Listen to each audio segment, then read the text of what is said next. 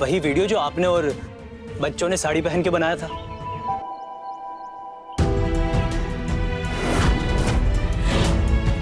ये वीडियो किसने बनाई?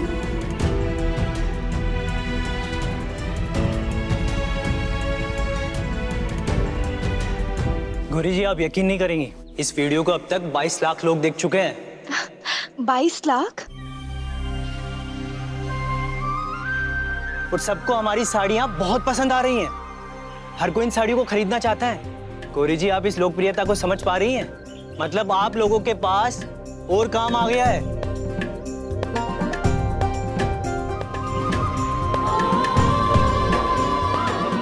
ये आप लोगों की मेहनत के पैसे हैं, गौरी जी।